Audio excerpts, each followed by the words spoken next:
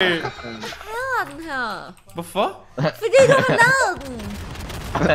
Hvorfor er du sådan en hater? Det er derfor, at uh, Roman Spil ikke skal have børn. Det er fordi, at Samuel kommer også til at hade unge, fordi Roman er med til at lave.